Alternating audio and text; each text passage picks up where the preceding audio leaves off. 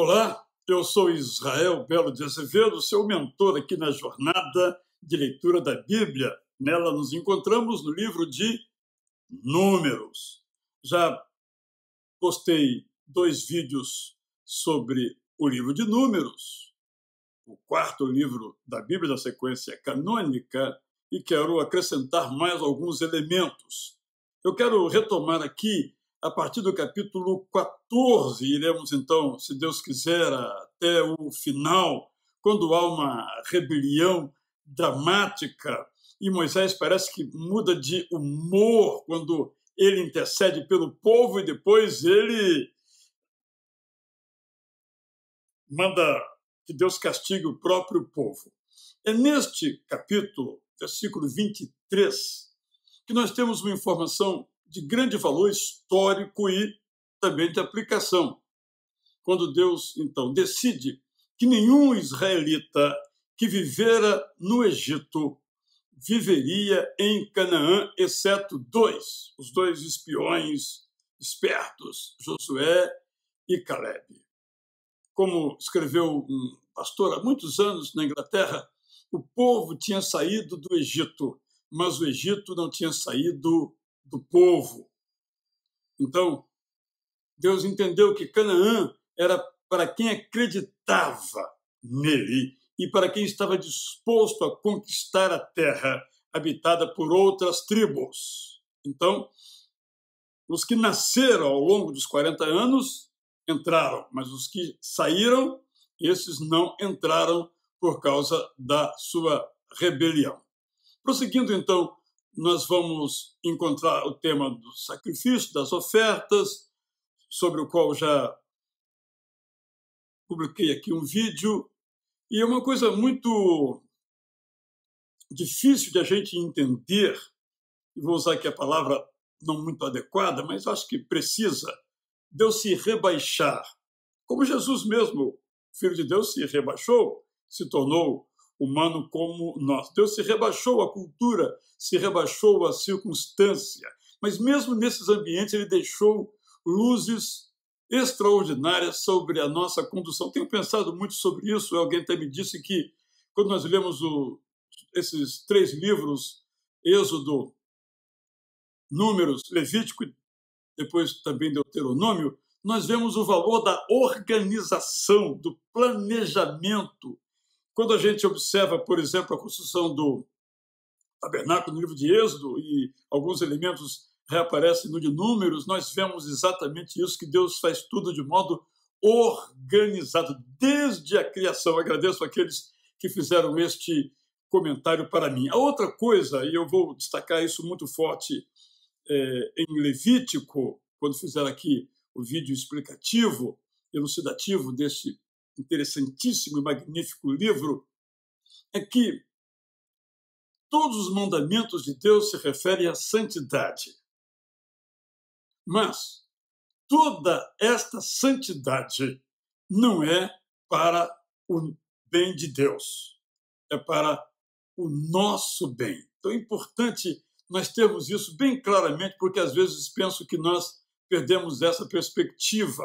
Como aconteceu, vemos isso no capítulo 16, com Datã, Abirão, filho de Eliabe, que eles se rebelaram contra Moisés. Aí você diz, mas hum, Deus foi pesado aqui. Ora, a garantia de que aquele povo sobreviveria era a obediência. E a obediência estava personificada em Moisés.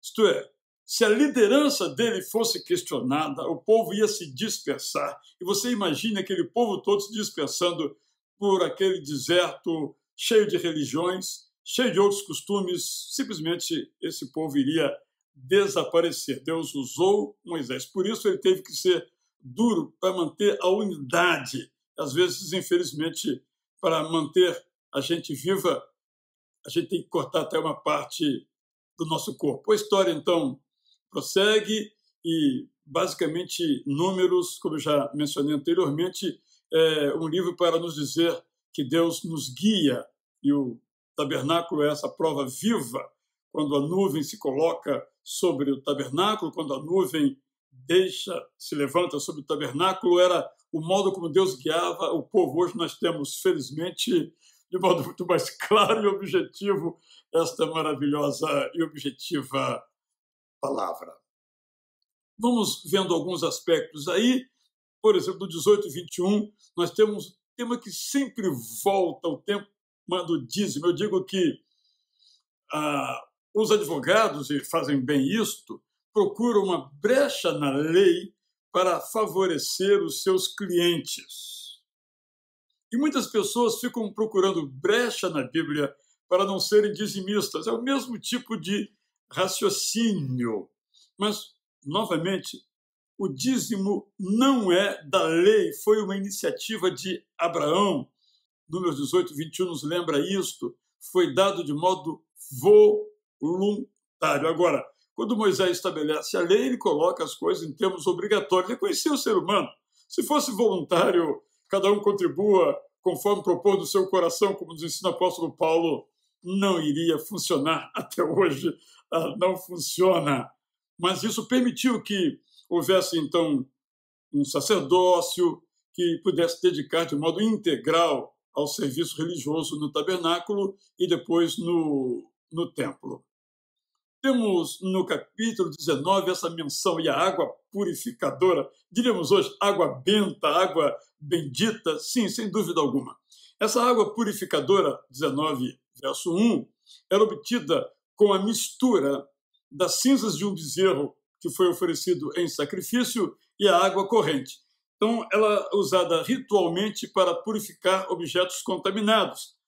Ficava depositada no interior do tabernáculo, sempre renovada, porque a água era corrente para poder então eh, lavar e levar os pecados. Depois, Números nos fala aqui de outras leis e volta ao tema da rebelião. Talvez pudéssemos mudar o nome do livro de Números, o livro das rebeliões. Agora, rebelião é em casa. Não é? E o pessoal parece que não aprende. Miriam morre, mas aquele espírito rebelde, parcialmente rebelde dela, permanece. E temos aí o episódio quando Moisés fere a rocha, que determinou que ele não entraria na terra prometida. Novamente, nós temos que entender que nós estamos navegando no mar de uma cultura solidária solidária. A nossa cultura é individualista. Quem erra, paga. Na cultura solidária ou comunitária, um erra, todos pagam. Todos erram, um paga. O pecado do povo de Israel incluía o próprio Moisés. Quando ele, levado pela rebelião do povo, erra, ele paga, o povo paga. É importante entendermos essa dimensão da solidariedade. Você vai dizer, ah, mas nossa é melhor. É. Não é bem assim, não é? Eu me lembro sempre de um episódio de que um funcionário numa no escritório morreu. Debruçou-se sobre a mesa, possivelmente teve uma síncope cardíaca e morreu. Só foram descobrir alguns dias depois.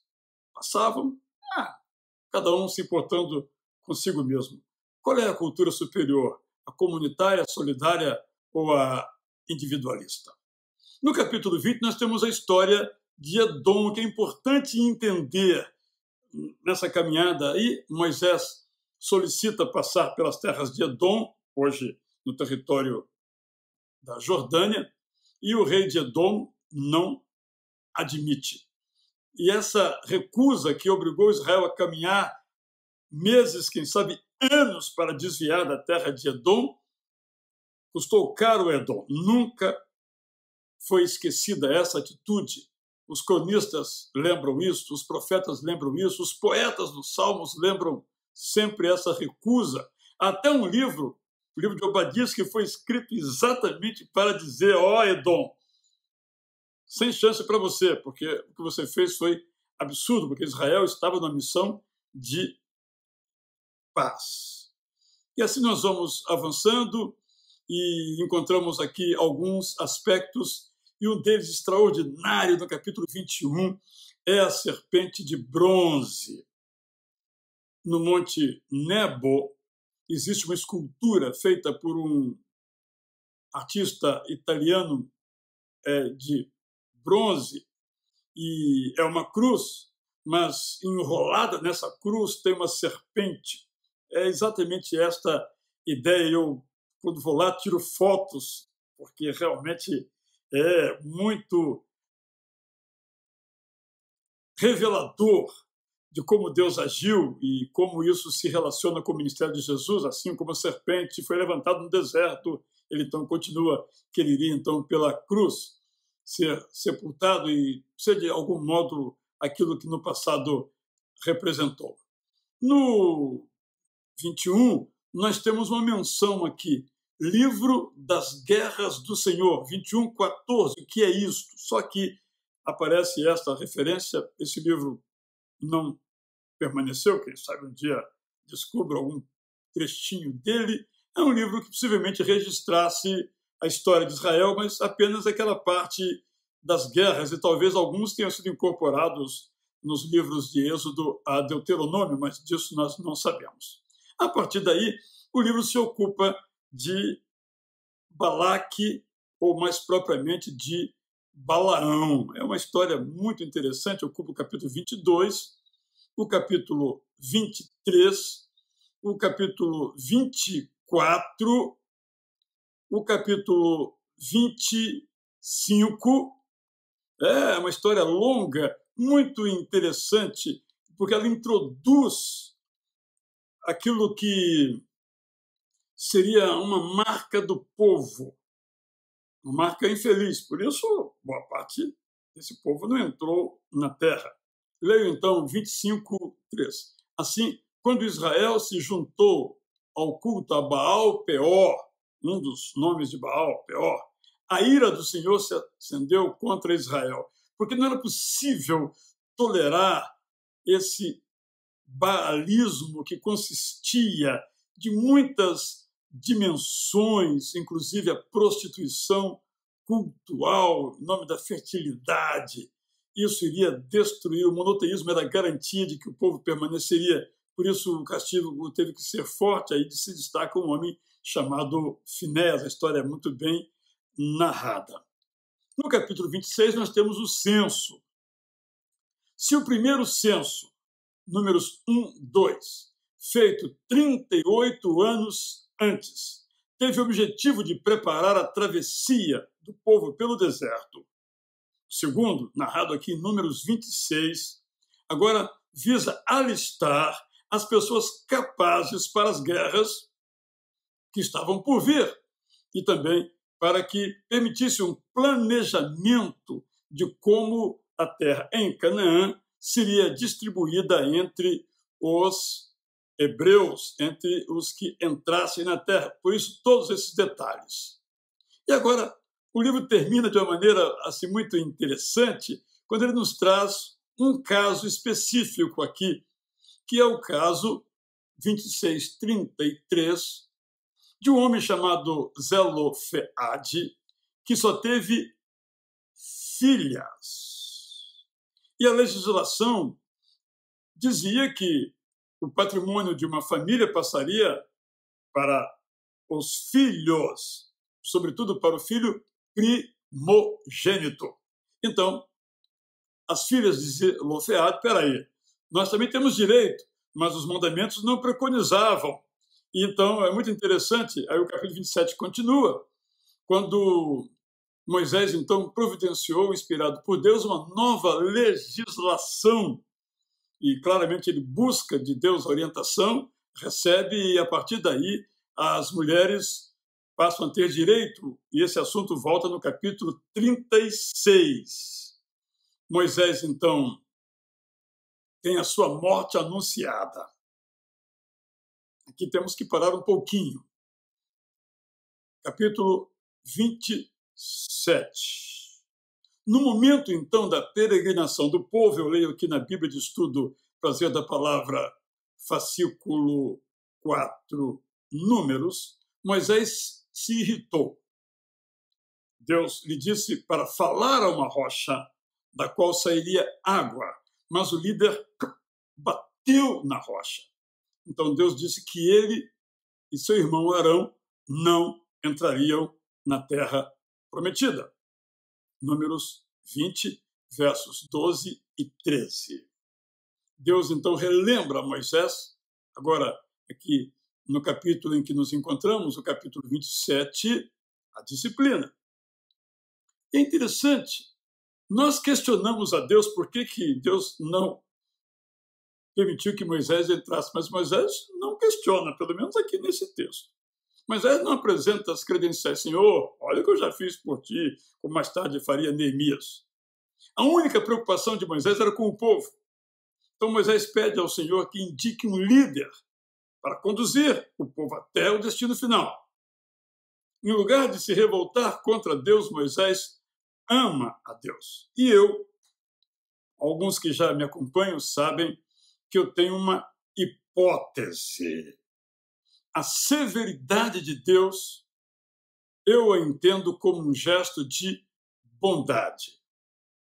Penso que esse castigo, o de não entrar na terra, Moisés com 120 anos, deve ser visto como uma forma que Deus usou para preservar Moisés, de ver o que aconteceria com o povo depois da sua morte. Além disso, por sua idade já muito avançada, Moisés não teria condições de liderar o povo nas difíceis batalhas que viria. Moisés não era um gênio militar, Moisés não era um guerreiro, não era um general, era um, um homem profundamente espiritual, um líder com o coração de Deus. Penso que ele foi tão preservado de fracassar, porque ele não teria condições de vencer, dadas as suas limitações de ordem física. Deus poupou Moisés, deu-lhe uma visão de Canaã e levou-o ao descanso.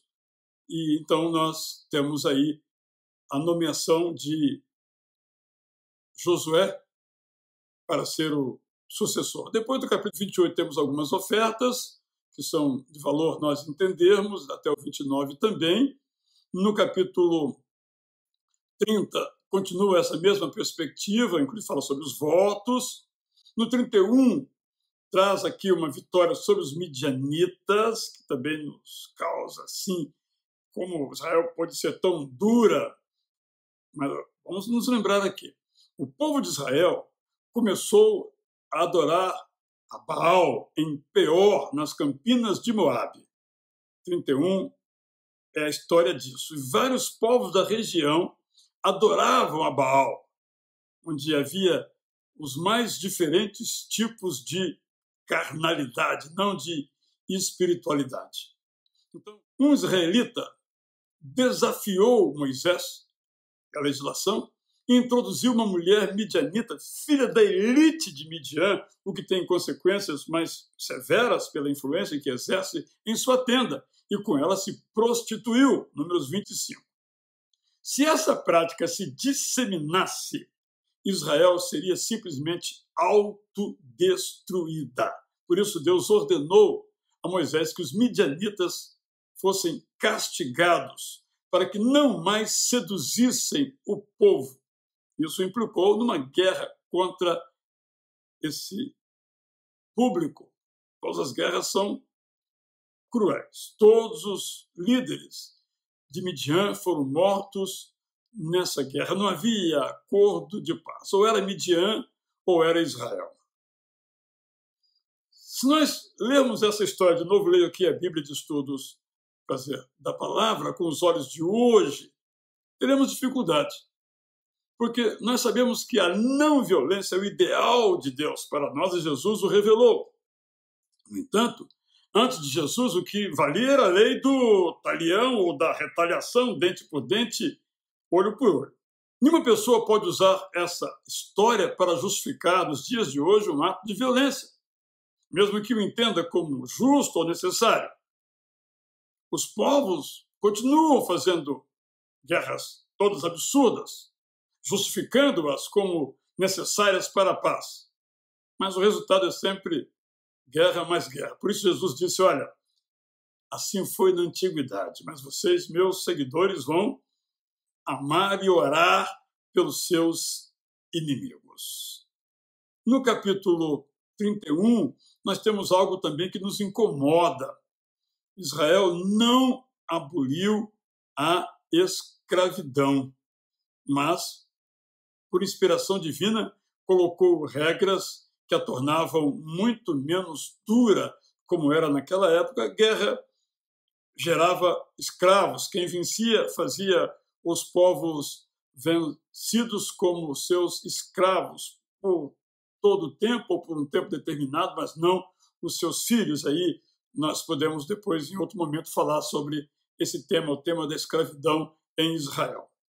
Então, já bem perto do final, no capítulo 32, nós temos a relação dos líderes e suas tribos, como ficariam na terra, como chamado loteamento da terra. Isso vai também até o capítulo 32, quando fica muito clara como isso vai ser organizado. E aí nós encontramos aqui no 33 algo também que demanda algum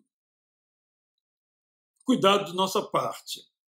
Basicamente, os israelitas, quando entrassem em Canaã, deveriam expulsar os moradores da terra e tomar posse completamente desta terra. Esta ordem não foi cumprida. As esculturas deviam ser destruídas, os ídolos deviam ser refundidos. Mais uma vez, se a idolatria dos povos de Canaã seduzisse os israelitas, servindo de espinho e aguilhão nas costas, o povo simplesmente iria desaparecer. O capítulo 34 nos fala das fronteiras de Israel, que até hoje suscita muita discussão, muita pergunta. Depois da cidade dos levitas, esse cuidado para preservar pessoas acusadas, mas sendo inocentes, a cidade de refúgio, vale a pena ler isso. Até hoje, as legislações do mundo inteiro usam esse cuidado aprendido ali, a cidade de refúgio, para que quando uma pessoa, por exemplo, cometesse um crime ou acusada de cometer um crime, ela não podia ser julgada ali mesmo, tinha que ir para outra cidade ser julgada lá, ou, mais ainda, devia ter um tempo a demandar entre o crime cometido e o seu juízo para que os ânimos estivessem serenados. Tudo isso está previsto no livro maravilhoso de Números. E o livro, então, vai chegando aqui ao seu final, capítulo 36, com a volta da história que já começou bem antes lá, das filhas de Zeloferrade. No capítulo 27, o pleito delas foi apresentado. Agora, elas se tornam cabeças das famílias, mulheres. É uma mudança na legislação. Então, essa nova mudança se tornou nacional, passou a prevalecer e foi aplicada, inclusive, as filhas do levita Eleazar. Dá uma olhadinha em 1 Crônicas 23, 22, onde isso fica bastante claro.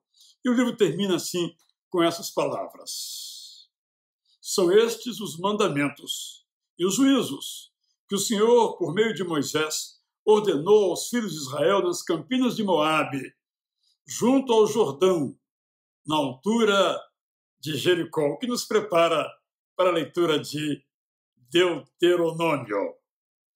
Muito obrigado por estarmos juntos. E depois de Deuteronômio, então, no tempo oportuno, nós leremos Levítico. uma perspectiva que espero vai ajudar a todos vocês. Obrigado. Eu sou Israel Belo de Azevedo, aqui da Jornada de Leitura da Bíblia, terminando o livro de Números. Boa leitura. Espero que você esteja rigorosamente em dia. Hallelujah.